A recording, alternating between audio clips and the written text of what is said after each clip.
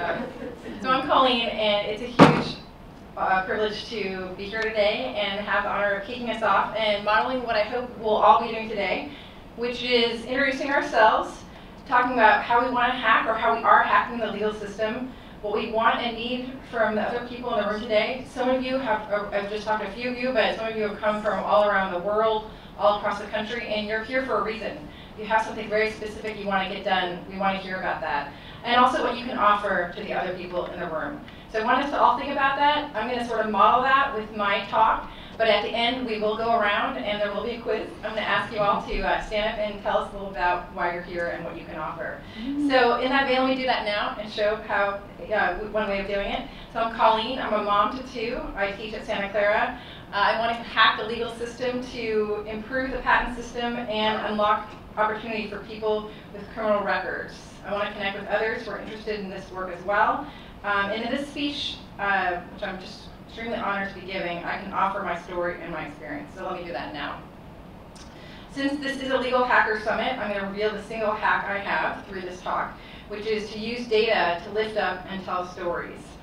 And a couple of the people that have inspired me to do that are women like Florence Nightingale and Ida B. Wells, who use their voices and their data to tell the stories of, in their cases, soldiers and lynching victims. You might know Florence. She was a nurse and statistician who went to take care of soldiers during the Crimean War. When she went, the conventional wisdom that soldiers were dying from war wounds. But as she documented, month after month, the actual cause of death was not wounds, which is what's in red, but actually diseases made mortal by poor sanitation in hospital, what's in blue. Her experience with dying soldiers, then her analysis, allowed her to spur movement in medicine focused on hygiene. Ida B. Wells, many you may be familiar with her, was a reformer and a journalist in the United States who became aware of the horrors of lynching when she came back from a trip and found her friend dead, being burned at the stake. Again, the news was that he had committed rape. But Ida found that this was not the reason at all. She called BS on this and thousands of lynchings from 1889 to 1922. Through her research, she gave voice to victims and put their experiences in context, writing sort of um, statements here about who had been lynched and what the causes were. So today I'm privileged to use my voice and my data that I've collected to share two stories, the first about the patent system and the second about second chances. The first is about how a nuisance came to dominate our patent system.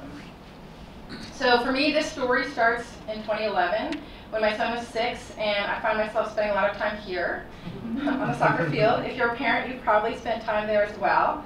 Um, and on the sidelines, the conversation would go, what do you do? I would say, I'm a professor, and then say, professor in what? And I would say, patents. And then the response was just silence after that. then a pained expression. And then on several occasions, I got something to the effect of, oh, you work in patents? Talk about a dysfunctional system.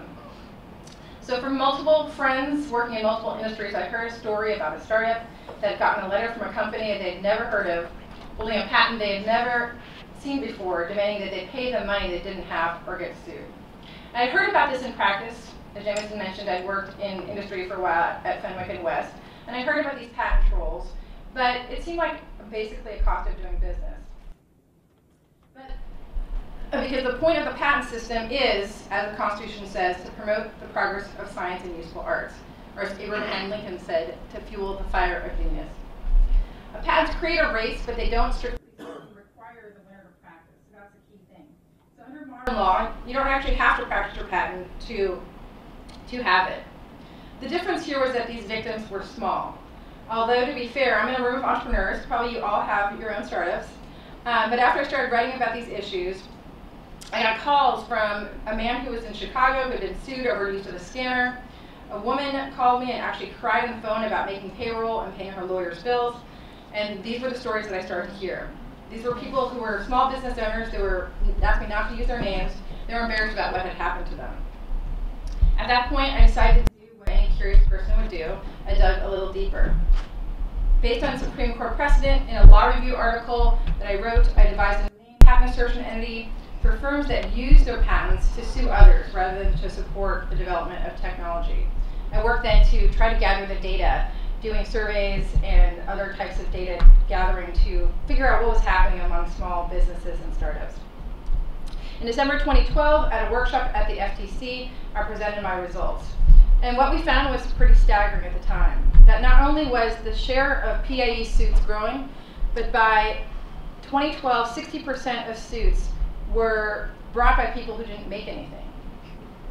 Um, what was even more surprising, though, was that 55% of the defendants were small, making under $10 million in revenue. So far from being the exception, the stories I had been hearing about on the sidelines of the soccer field, it looked like were actually the new normal. And on Valentine's Day in 2013, during a hangout, Obama drew attention to the issue of patent trolls extorting money from startups.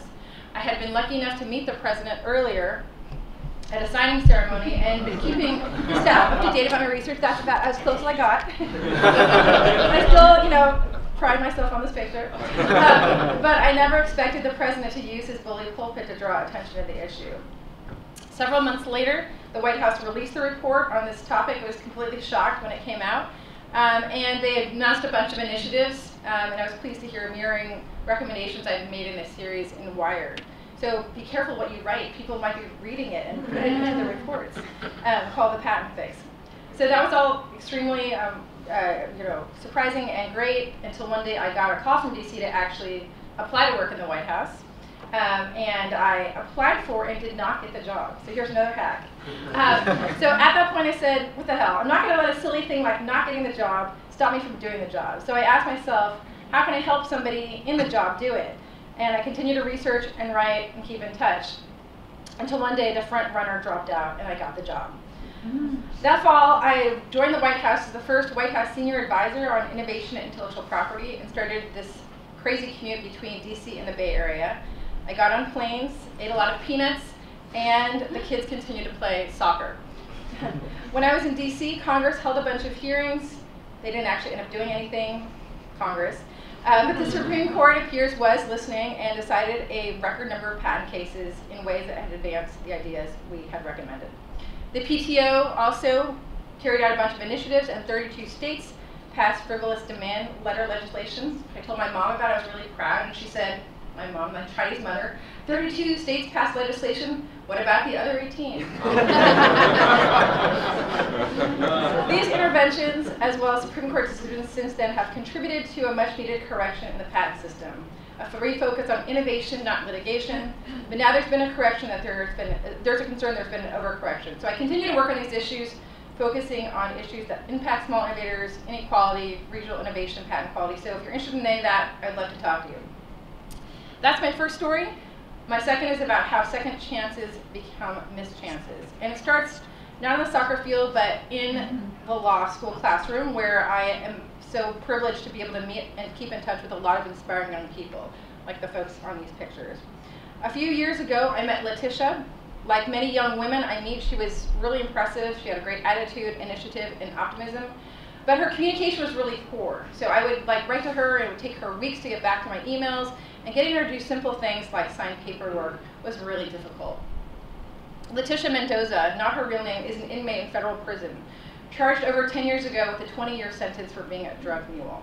I got to know her while preparing her application for relief under Obama's signature clemency initiative.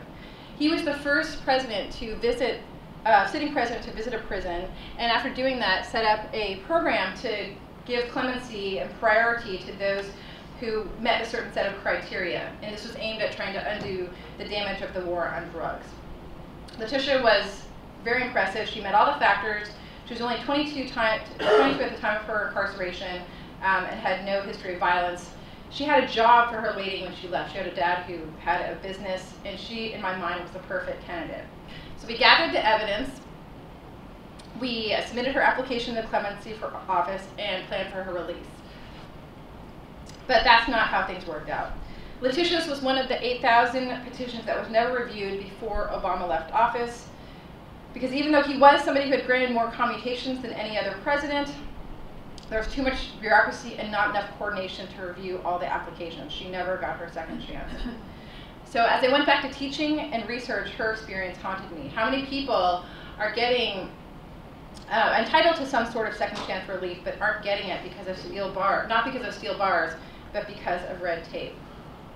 So I started with the Clemency Project, which it turns out did not only have a backlog problem, it also had a problem that there wasn't consistent application of the criteria. When you actually looked at all the data, only 3 to 6% actually of the folks received relief.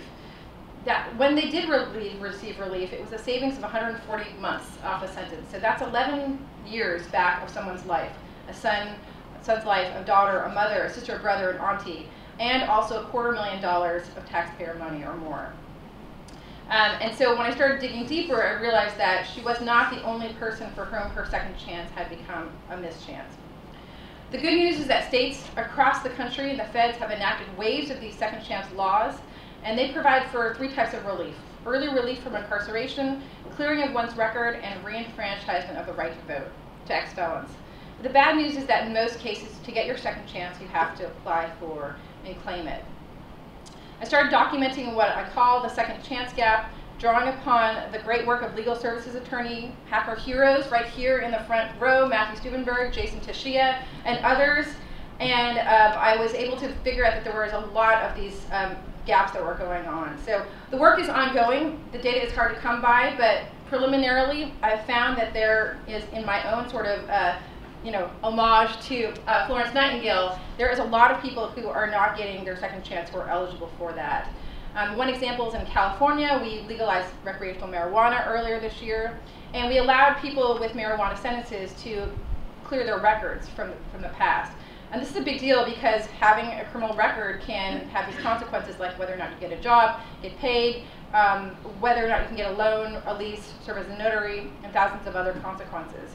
So the issue was again that in California we didn't have, uh, you know, people were not applying for this, and so when you had these entrepreneurs like the D of San Francisco and the PD of Santa Cruz actually do the math, it turned out that a very small percentage of folks were doing that. I want to just point out that one in three Americans has a criminal record. That's more than voted for Obama in 2012, about the same number that has an undergraduate degree. So to me, this means that we have to move away from individualized treatment of each applicant to restore their second chance, and we need to work and try to bring justice at scale. And here's where two kinds of code, I don't really have to tell the folks in this room, computer code and legal code can work together to deliver justice and second chances.